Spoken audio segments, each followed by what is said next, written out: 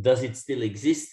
Um, um, um, I have conflicts of interest, but they do not bear any relevance uh, to, to this talk. Um, uh, I, I, work in, in uh, university hospitals in Leuven. as I said, I'm an anesthesiologist and I work in this 1800 uh, bed hospital uh, with approximately 50 ORs and we perform 60,000 anesthetics per year. I'm an obstetric anesthetist and we do a lot of um, uh, deliveries uh, with a high epidural rate in the labor and delivery ward. Um, um, this is um, our uh, operating theater, um, old and new buildings, um, and where you see the arrow, there is the new labor and delivery ward. Uh, what I will be discussing is um, the incidence pathophysiology prevention and treatment of post-dural puncture headache. Um, the long-term effects of post-dural puncture headache uh, is also something I will be discussing um, because I think it's, it's also very important for non-anesthetists as well. Um, and, and I will go over these aspects during my lecture. Um, of course, some are focused on anesthesia, and I know that the majority of you are non-anesthesiologists, but I do think they bear relevance to neurologists, neurosurgeons, uh, etc. as well. Let's look at the clinical features and the differential diagnosis of post-dural puncture headache first. Um, well, as you know, usually with post-dural puncture headache, there is a history of a procedure involving the uh, cerebrospinal fluid and the dura mater. Um, the headache that develops is usually quite severe, located in the frontal and occipital areas, is associated with neck stiffness and pain in the neck, and typically it exacerbates when the patient is standing. Um, there are some associated symptoms like photophobia, nausea, neck stiffness, tinnitus, diplopia, uh, and sometimes even low back pain. Uh, usually it occurs two to five days after the procedure has been performed, could be a lumbar puncture, could be an epidural or spinal procedure. And it, in the majority of cases, excuse me, is self-limiting to approximately seven days. but in some patients, it can be prolonged and give still symptoms weeks after the initial diagnosis. There are a number of uh, differential diagnoses that you can um, discuss, uh, including spontaneous CSF leak uh, or CSF leak as a result of a trauma. Um, anyway, there, you need to look into these differential diagnoses. There is no real diagnostic tool, not even an MRI is uh, completely 100% reliable. Um, what is the pathophysiology of the problem? Well, if you make a hole in the dura, there is CSF leakage, uh, and as a result, CSF hypovolemia, which uh, is the case when you have lost approximately 10% or more of your CSF. Uh, as a result of the low CSF volume, uh, when the patient moves into the upright position, the CSF moves into the spinal sac, and the brain moves and loses cushion. And this results in downward uh, tension on the meninges, nerves, and vessels. And uh, there is some evidence that this, this is the pathophysiological mechanism because you have radiological evidence of that. And you have the cranial nerve palsies, which can result of the, the, the sagging of the pons against bone. There are, however, other mechanisms possible you know better than me that brain volume needs to be constant in the skull. So when there is CSF lost, it must be replaced. And this can be done by vasodilation and an increase in intracranial blood volume. And the arterial and venous vasodilation causes the post-dural puncture headache. And there is evidence that this is the mechanism because if you have an adenosine receptor blocking effect, uh, as, a, as with caffeine, you might have a, an improvement uh, by reducing Uh, vasodilation. What are the risk factors? Well, it is not a problem usually in elderly patients. It is most of the time a problem in young adults, 20, 30, 40 years old. Women are more prone to the problem than men. And when you had a prior post-dural puncture headache after lumbar puncture or after a spinal, the chance that you will develop a new post-dural puncture headache whenever you have a new procedure is three times higher than in patients that did not have a previous uh, post-dural puncture headache. Um, women or men with chronic headache problems also have a high risk of post-dural puncture headache, and there is some not very conclusive, but some evidence that when you're obese, you are protected against the development of post-dural puncture headache. It is quite unclear whether young children uh, have the problem as well, but most likely, yes. Uh, so there are some uh, modifiable and non-modifiable risk factors um, that you can uh, ascertain. There are some modifiable risk factors. The size of the needle you are using to perforate the dura is important. And I see many neurologists perform lumbar punctures with 22 gauge needles. This of course carries a high risk. Needle shape is important, non-cutting versus cutting needles, orientation of the needle, stiletto placement, and operator experience. Indeed, um, so this is a, a, study, an example of uh, women with a previous post-dural puncture headache history have a higher chance of developing a new problem. And this is needle size, 22 gauge needles, higher incidence of post-dural puncture headache versus the 26, 27, 28, 29 gauge needles. Also non-cutting versus cutting, Whitacre versus Quincke, Sprotte versus Quincke, much higher risk with the Quincke needles. And if you reinsert the stylet uh, of your spinal needle or your epidural needle, you will reduce the incidence of post-dural puncture headache. This is the, the size of the hole uh, uh, and the damage, and also the size of the, of the needles and the incidence after a spinal anesthetic, um, the incidence of post-dural puncture headache. And you can see that if we, as anesthetists, for our spinal anesthetics, use 27 gauge needles, the risk of a post-dural puncture headache with a non-cutting needle is 1 to 2%. With um, 24 gauge or 22 gauge Whitacre needles, it, it goes up to 5 to 10% uh, if you do a lumbar puncture, for instance, with those needles. Reinserting the stylet is important before you remove the spinal needle from the dura it is important to reinsert the stylet because then you can't redraw tissue into the spinal needle and make the hole even worse.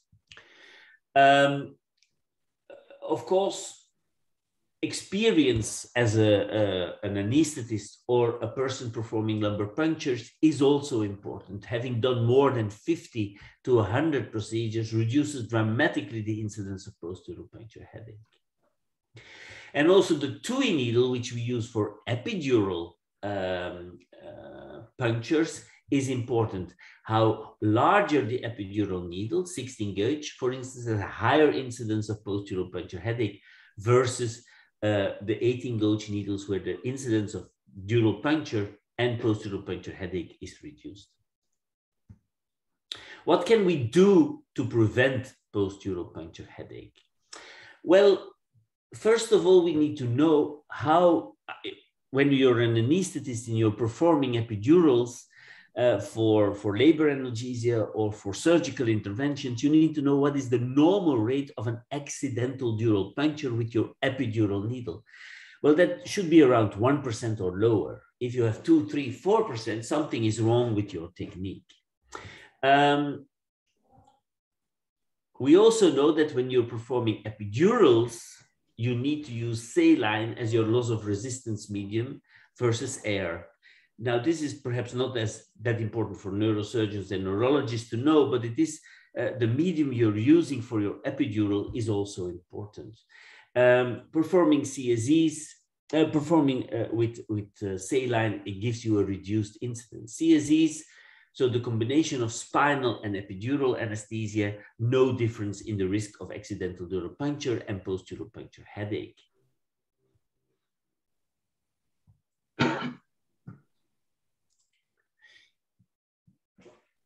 Some say that if you put the patient in the sitting position, you have a higher chance of accidental dural puncture and of uh, post-dural puncture headache, but this is not demonstrated by literature.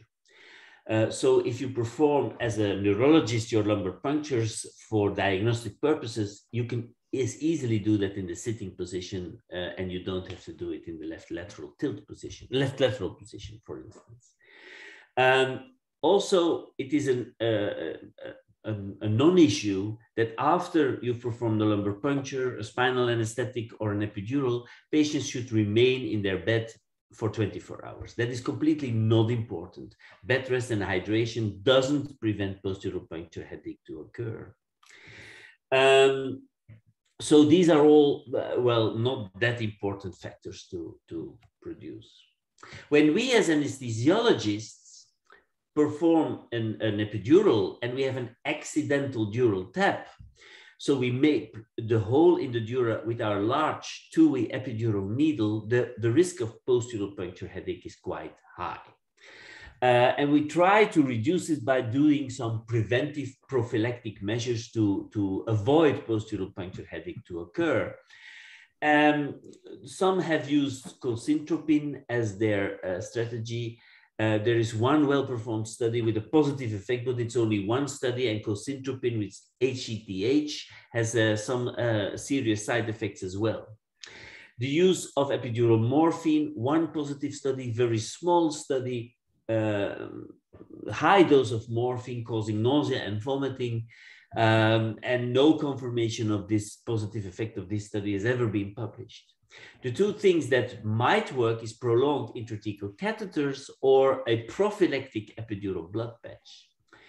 Uh, what about using intrathecal catheters after an accidental dural puncture with your Tuohy epidural needle? And, and this is an, uh, an overview we published uh, a year ago in uh, anesthesia uh, with, with the number of experts. Well, what we do is we have give done an accidental dural puncture and the catheter that usually goes epidurally, we insert intrathecally through the hole that we made accidentally. Uh, the catheter remains intrathecally for 24 hours.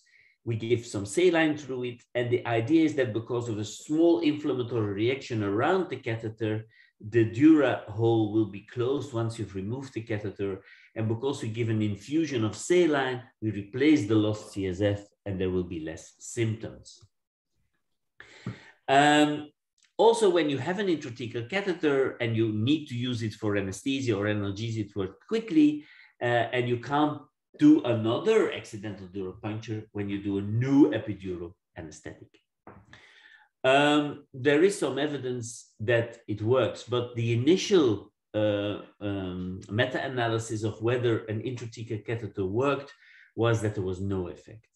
However, uh, once there was a little bit more evidence um, brought together, uh, there is indeed a positive effect on uh, post-dural puncture headache uh, and less need for blood patching with intrathecal catheters. And this is our own study, which we published some five, six years ago, um, where we uh, evaluated 130 patients with an accidental dural puncture. Some of them had a catheter recited epidurally, and some had an intrathecal catheter uh, performed. And what you can see is that there was a reduced incidence of post-dural puncture headache from 62 to 42 percent which uh, and and less need for for um, blood patching.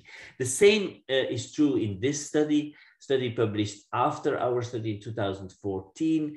Uh, similar number of cases of accidental dural puncture, and again with intrathecal catheters, a reduction of post-dural puncture headache from 54 to 37 percent. Uh, and another example published in 2016, uh, less uh, post-dural puncture headache with intrathecal catheters. These intrathecal catheters do not have many side effects. Uh, in this large series, no serious side effects could be identified. Uh, there was some failure of the, the spinal catheters for, for, for functioning as an anesthetic technique, but that was minor, 2, 3, 4%, basically. Um, what about a prophylactic epidural blood patch. You all know, and I will come to that later in my talk as well, if a patient has an established post-dural puncture headache, the treatment option, the primary treatment option is to, to give a blood patch, inject patient blood, autologous blood into the epidural space. Some have said, well, if we perforate the dura accidentally, we might, before we remove the epidural catheter, give a prophylactic blood patch before there is a headache upon removal of the epidural catheter. And you might then prevent puncture headache to occur. And some studies have been uh, shown uh, but the evidence is very minor, so not really very strong, and no clear-cut benefit of doing preventive uh, epidural blood patching. But then there was this study by Stein in 2014, where they did see a positive effect. It was a randomized and prospective client, uh, uh, trial, but it was not double-blinded, and there was no uh, sham epidural blood patch, so no blood patch performed, but without giving any blood. Um, and they saw indeed in this trial a decrease in incidence and severity. However, I have to say, uh, this trial lacked a few. Uh, uh, I mean, there were some problems with this trial. For instance, that it was not double blind. Okay. What when you have post-dural puncture headache? What can you do? And this, I think, is also very interesting for, for non-anesthesiologists. Bed rest, oral fluids, intravenous fluids, abdominal binders um, are, have all been suggested as um, conservative treatment options where you don't really need to intervene. And basically, there is no evidence whatsoever that it works. Uh, it might give you some, some short lasting effects, but it will not cure and solve the problem. What about pharmacological interventions? The administration of gabapentinoids, triptans, steroids, ACTH, theophylline, caffeine. Caffeine is probably the, the best tested, but it also has serious side effects, like in pregnant patients, it might induce um, eclampsia or preeclampsia.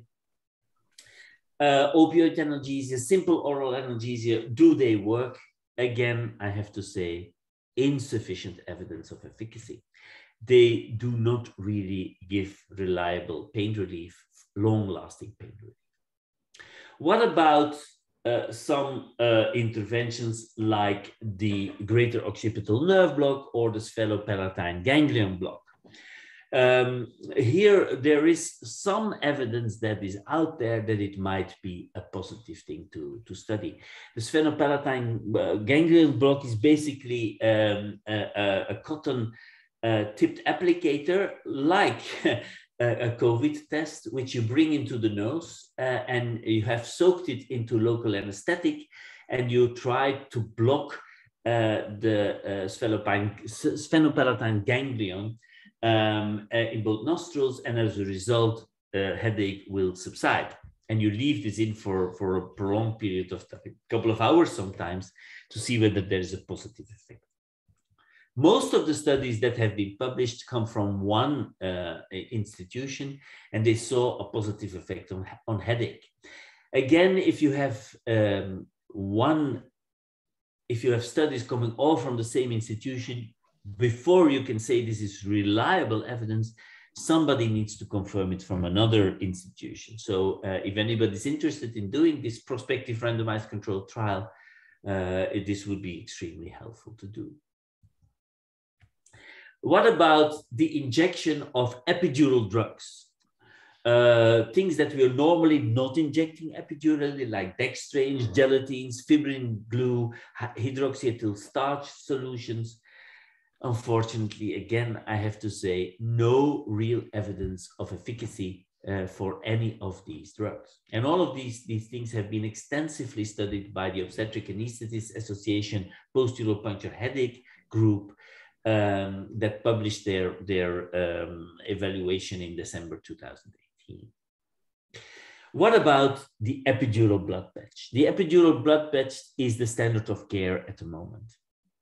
Uh, and there, there is this large uh, European trial that looked at the management practices of post-dural puncture headache in obstetrics. Um, it was a, a, prospective international cohort study where all patients developing accidental dural puncture and a headache were uh, assessed for several days and for months. and put into a database. And approximately a thousand patients were evaluated. Some of them received a blood patch and others did not. And what you can see is that 65% who developed a headache after an, an anesthetic obstetric intervention needed a blood patch. But one in three, no blood, blood patch was required, and the, the problem went away after a couple of days. Uh, pain intensity was quite significant, and um, uh, there were some indications that uh, a needle size was important, that an intrathecal catheter uh, reduced the incidence of post-dural puncture headache. So this, this uh, large uh, trial published in 2020 gave us some insight into uh, the, the, the, problem uh, and, and the positive and negative things that we could do. Um,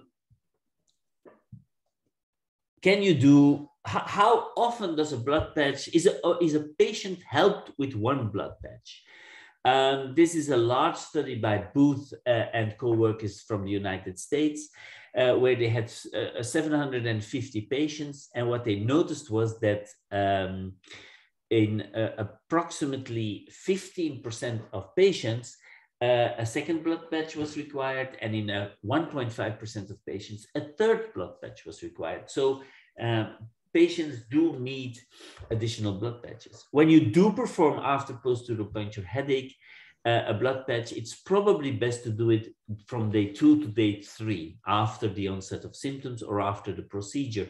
So if you bring a patient after a lumbar puncture to the anesthetist, it is important that you don't expect the anesthetist to do the epidural blood patch at 24 or 12 hour after the procedure, but 48 to 72 hours because then the, the success rate of the blood patch is higher.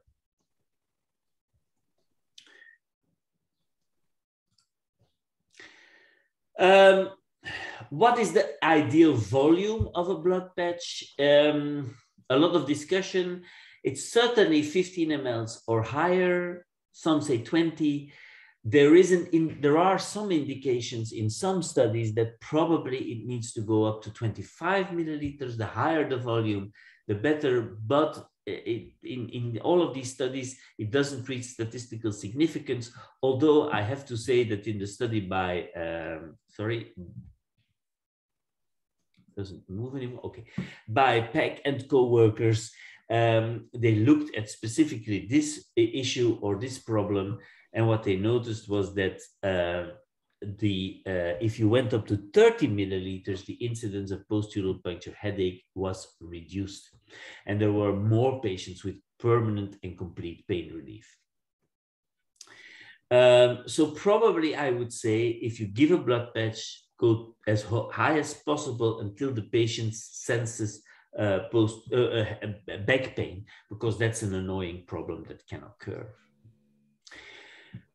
Now I, I want to mention some long-term effects. Um, indeed, what is the prognosis of post-dural puncture headache? Well, one thing is that, and this was published last year in anesthesia, if you have post-dural puncture headache, the risk of persistent headache and low back pain is significantly increased. Uh, this is a large uh, group of uh, uh, people that studied this. Um, and uh, what they noticed that in patients who uh, developed a headache, there was more chances of um, of uh, persistent headache and more chances of um, uh, of, of back pain. So you can see the the the, the risk factors there, um, which I think is a, is an, an, an important thing um, for us as physicians to know that even if you treat the patients, they, they still have a higher risk of uh, maintaining problems. And I don't think that was well recognized until five, six years ago. And this is uh, the looking at uh, um, back pain, same uh, thing, more risk of back pain in patients with post-dural puncture headache. Um, and, and this is another way of uh, presenting this, um, also the severity of, post, of, of persistent headache and low back pain is higher in those patients. Um, so there are some indications that uh, indeed um, headaches as a result of post-dural puncture headache might last longer than you expect. Another issue that I think has come to, to light in the last couple of years is that of uh, the association of an accidental dural puncture, a post-dural puncture headache, and an increased risk of subdural hematomas. These are two patients who had an accidental dural puncture for a labor epidural, and you can see in both of them a subdural hematoma developing on the two, second or third postoperative day. Um, small or large ones. Uh, my research fellow Cuypers uh, a couple of years ago looked into this and went through the literature and identified 56 reported cases of subdural hematoma intracranially as a result of accidental dural puncture and post-dural puncture headache and noticed all the associated symptoms that were uh, involved in this. And um, we also try to explain the pathophysiological mechanism of this uh, serious complication. When you do an accidental dural puncture, there is a CSF leak, cerebrospinal fluid pressure is reduced, and you have gravitational traction on brain structures. As a result of the traction, there might be subdural veins that rupture and a subdural hematoma can develop. Or you can have compensatory vasodilation and you have a post-dural puncture headache that might develop. So as a result of the cerebrospinal fluid leak, the headache develops, but also the subdural hematoma develops. And we identified those cases, but two very large studies also underlined this significant problem. This is a study published in JAMA Neurology some two years ago by the group of uh, Jose Carvalho in Canada, and what they noticed was that in a group of 26, 22 million uh, patients that delivered a baby in uh, Canada, um, there were 340 women developing a subdural hematoma, and there were approximately 70,000 women developing post-dural puncture headache. Um, so 22 million deliveries 70,000 post-dural puncture headaches, and 342 uh, subdural hematomas. They noticed a 60% blood patch rate with 42,000 blood patches. But what is much more interesting and important is that um, is that the risk of post of subdural hematoma in general in the total population is 1.5 in 100,000. When in patients with post-dural puncture headache, the risk of subdural hematoma is 145 in 100,000. So 200 times increased risk of uh, post-dural puncture headache if you adjust for confounders. And if you delay the blood patch after two days, two to three days, the risk even further increases. Uh, so it is extremely important to manage the post-dural puncture headache and treat with the blood patch as soon as possible, but not too early because then the positive effect is gone. And this study in the JAMA was um, reinforced or confirmed by a study published in Anesthesia and Analgesia by the group of Ruth Landau in New York, where they looked at approximately 1 million women uh, that delivered in a, in a 10 year period in New York. And they saw more serious neurologic complications in women with post-dural puncture headache, three times more than in um, those that did not have a post-dural puncture headache.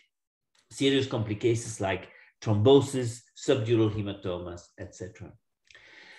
So if you have a patient with a history of a procedure involving the dura mater, and there is a headache that develops, remember that if the, and the patient doesn't react to a blood patch and the symptoms reoccur, look at secondary symptoms, focal signs, and then go for an investigation to rule out serious neurologic complications like, like a subdural hematoma by doing an MRI, for instance. I would like to thank you for your attention Um, I would say that uh, in epidurals for labor, epidurals for surgery, spinal anesthesia holds a rate of 1% accidental dural punctures. And of those accidental dural punctures, 70% develop a headache after spinal anesthesia, 1 to 2%. In two out of three, you need to the blood patch. And in one out of five, of these blood patches, these patients will need a second blood patch. So a blood patch isn't always immediately uh, successful. Um, I've discussed timing and volume of the blood patch. I would suggest 20 to 30 milliliters, as much as you can go until there is back pain. And I would suggest to do the blood patch two days after the puncture if a headache develops. However, we should wary, be aware of serious complications uh, that can occur like subdural hematoma, and the risk is increased after accidental dural puncture and after the development of post-dural puncture headache. Thank you very much, and I'm open for questions. Thank you so much, Professor, for this detailed and high quality presentation. I also have uh, one or uh, two patients uh, with dural tear in the spinal operation uh, and developed uh, intracerebral hematoma, fatal intracerebral hematoma, but I didn't know that after dural puncture, it can be occur also. Yes. Mm, yeah. It's interesting yeah. and we must be careful with that.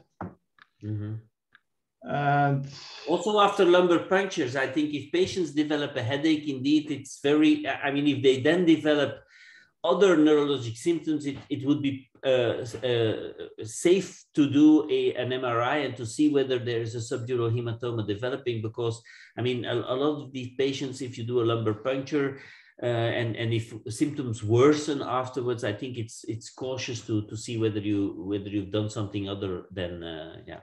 Yeah, it, to develop a subdural or epidural uh, hematoma somewhat reasonable, but intracerebral hematoma developing. No, no, it's subdural. It's subdural. Yeah, subdural. Yeah. But in my case, it was inter, uh, intracerebral hematoma, but it was a big tear in the operation, and then uh, yeah. the patient developed intracerebral hematoma, and uh, eventually he died. Yeah. Unfortunately. Okay, I am looking at the chat section. Uh, there is one comment from Professor Kaan Katırcıoğlu. He's an anesthesiologist in Izmir. Thanks to the Professor Van de Velde, post-dural puncture headache is an important problem today for anesthesiologists. Well, what will we do? Is it's not a question actually. Maybe uh, you told a lot of things. Maybe Professor Kaan Katırcıoğlu want to talk himself. Uh, Kaan, are you there? Maybe you can make some... Yes, yes, yes, yes. I am here. Okay. Would you like to say uh, something uh, about the subject? Thank you very much to Professor Van de Velde. Uh, today, our problem... Sorry, we cannot see your face. The light is coming from your behind. behind. Can you make something? Yes. You look. There is a light after me. Now you can you see? No. You are still black. All black. Okay. Now it's okay. Now okay.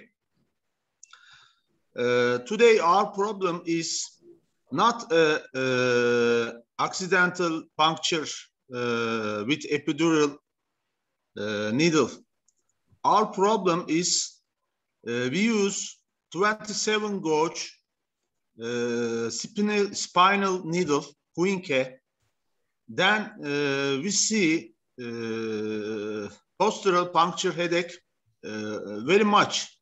Mm -hmm. The uh, Whitacre or pencil point needle uh, is not is it difficult to perform with this needle?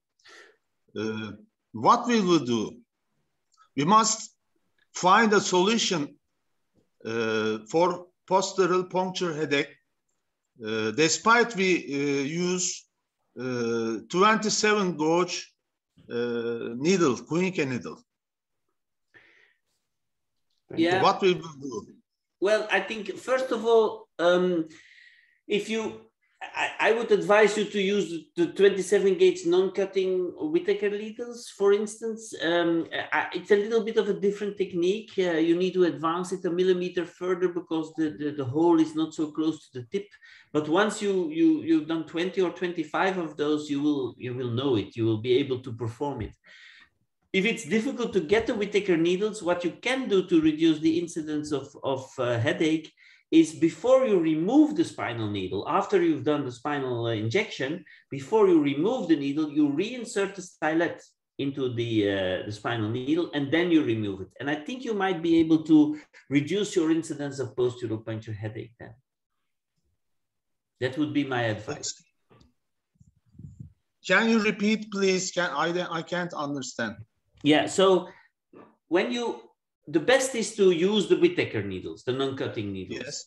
And I know it's a little bit of a different technique because the hole in the spinal needle is not as close to the tip as with the Quincke. So you need to advance it half a millimeter to a millimeter deeper into the spinal space. But if you do not have the availability to use Whitacre needles, you can reduce with the Quincke needles the incidence once you've performed the spinal perforation of the dura, you, in, you remove the stylet, you inject your local anesthetic. Before yes. you take the spinal needle out, you reinsert the stylet into the spinal needle, and then you remove the spinal needle. Uh, okay, okay. And that will help okay. because then you will not have tissue coming into the spinal needle. And when you remove the spinal needle, the tissue will be retracted and the, the hole will be larger. So that, that is one way of reducing the chance of having a headache. Thank you very much, Professor Van de Velde. It's new uh, for me for uh, this uh, consideration. Thank you very much. Thank you. Thank you, Kaan, for your comments and contributions. And Associated Professor Murat Özkalkanlı is with us. And could you please some, make some comments? Uh, thank you, Professor. I am from uh, the same hospital in uh, Department of Anesthesiology. Uh, about 10 years ago, we had an uh, post-dural puncture headache patient. Uh, and the clinical presence was about 20 days.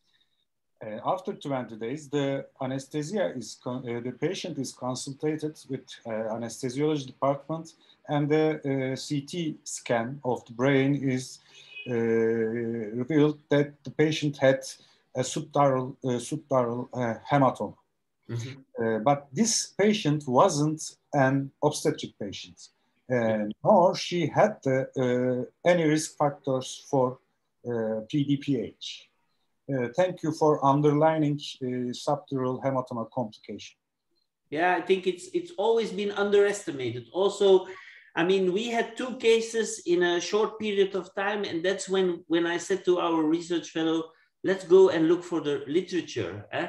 And, and we found numerous cases, and that's the only ones that have been reported. So there are many more. And then came this study by, by the group of Carvalho, I think it's an underestimated problem and we need to be careful about it. Yeah, very valid comment. Thank you. Okay, we have one more question in the chat part. Bahar yes. Balkan. When you have a ATP, ADP for an epidural to get labor analgesia, do you insert an intrathecal catheter and proceed your labor analgesia with an intrathecal catheter? Or what else do you do?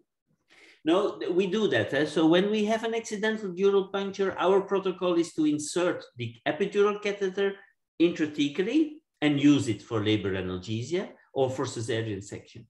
Uh, of course, you need to be careful. You need to label. You need to be sure that everybody knows it's an intrathecal catheter and it's not a spinal catheter. Why do we do this? Because it gives you good analgesia There is no risk of a second dural puncture because if you have to redo the epidural, you can have a second accidental dural puncture, of course. And it works very quickly. The patient is immediately pain-free with intrathecal anesthesia. Um, so that's what we do. And we leave the catheter in for 24 hours with a, a, locked pump, giving just a little bit of saline after the patient has delivered, and then remove the catheter. And we have then less post-dural puncture headache. Yeah, so we do that. But the most important thing is to make sure that everybody knows it's an intrathecal catheter and not an epidural catheter. So label the patient, label the pump, label the catheter, label the filter. So no accidental high dose injection of your local anesthetic can be injected into the uh, spinal space. Thank you, sir, so much. Uh, I cannot see any other question or comment in the chat part. Uh, Bahar uh, Kouaki says, thank you very much for your explanation. Thank you. And we will uh, end the lecture. And I, for information, uh, we will uh, upload the records of the lecture uh, to our uh, YouTube page sometime later, uh, generally one month later we will upload this uh, lecture completely and anyone who wants to see the lecture, your information, listen to you again, uh, he can open, just open our YouTube page. Okay, thank you so much. Good evening. Thank you very much. Good evening. Bye-bye. See Bye -bye. you next time. Thank Bye. Nice to meet you. Bye.